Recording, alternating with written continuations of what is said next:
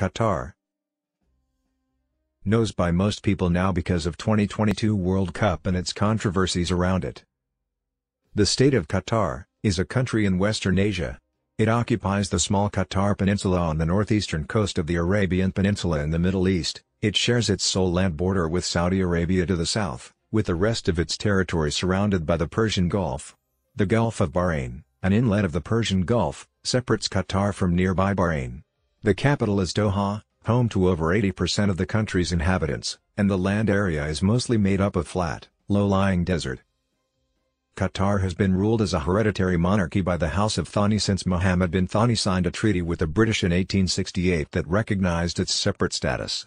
Following Ottoman rule, Qatar became a British protectorate in the early 20th century until gaining independence in 1971. The current emir is Tamim bin Hamad Al Thani, who holds nearly all executive and legislative authority under the Constitution of Qatar, as well as controlling the judiciary. He appoints the prime minister and cabinet. The partially elected Consultative Assembly can block legislation and has a limited ability to dismiss ministers.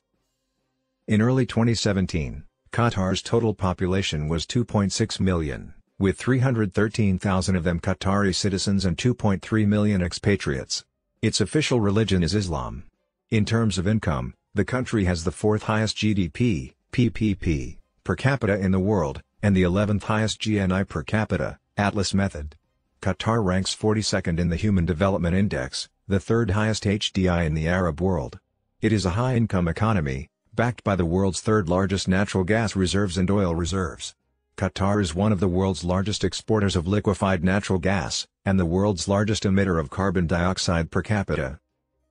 In the 21st century, Qatar emerged as a middle power in the Arab world through its resource wealth, as well as its globally expanding media group, Al Jazeera Media Network, and reportedly supporting several rebel groups financially during the Arab Spring.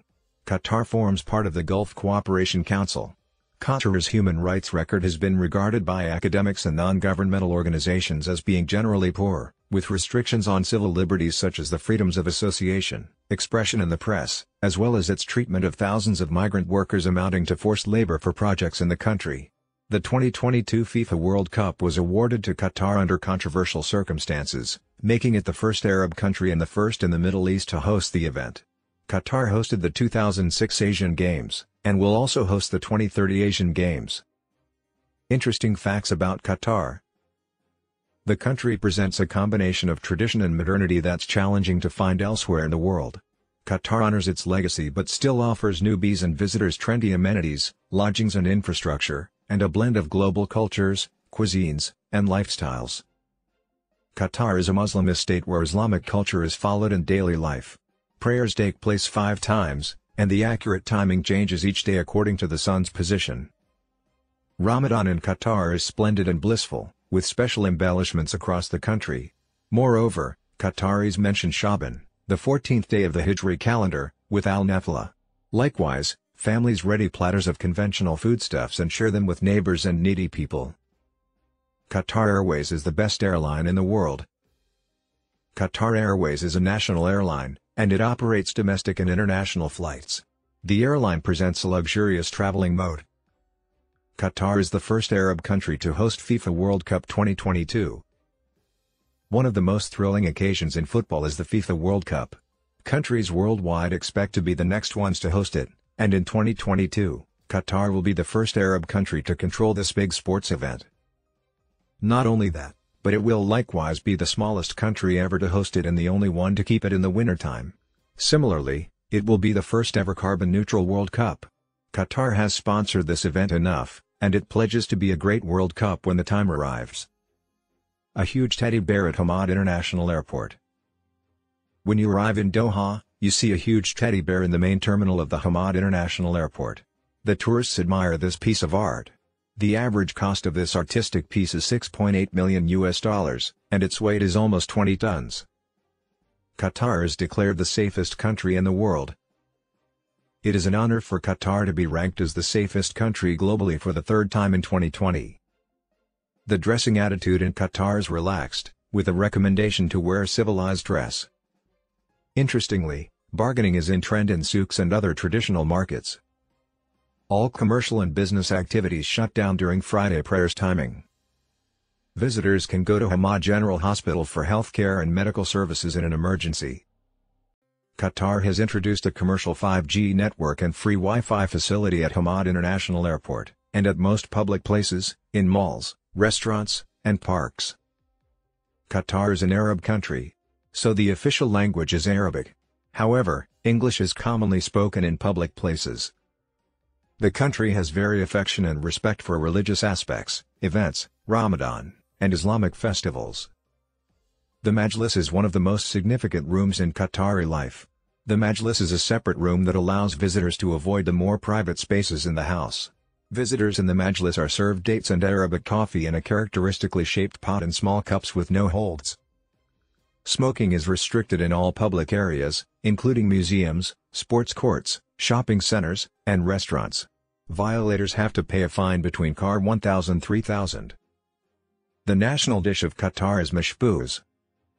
General facts about Qatar Third best airport in the world Hamad International Airport Qatar has no forests. It is a country where the sea meets the desert, the national animal is the Arabian oryx. Qatar has very cheap gas, Qatar has the longest drilled oil well in the world. 99% of the Qatari residents live in Doha, the Doha Tower has no central core. The country's name dates back to 50 AD, the weekend falls on Fridays and Saturdays. Qatar owns many properties in London, England and Qatar, you will enjoy the desert safari adventure. Qatar has a lot of beaches, Qatar is one of the richest countries. Looking around at the amazing skyscrapers and stunning towers and projects like the Pearl Qatar, it should come as no surprise to you that Qatar is one of the richest countries in the world.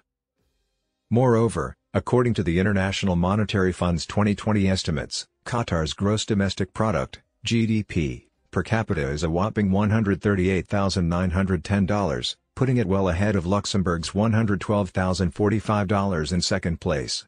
Also, unsurprisingly, much of this wealth comes from petroleum and natural gas sources, which account for more than 60% of GDP. Qatar is the second flattest country in the world.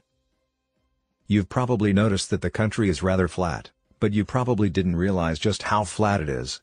It's the second flattest country globally, with its most elevated point only 338 feet. Politics of Qatar Qatar is officially a semi-constitutional monarchy, but the wide powers retained by the monarchy have it still bordering an absolute monarchy ruled by the Al Thani family. The Al Thani dynasty has been ruling Qatar since the family house was established in 1825. In 2003, Qatar adopted a constitution that provided for the direct election of 30 of the 45 members of a legislature. The constitution was overwhelmingly approved in a referendum, with almost 98% in favor.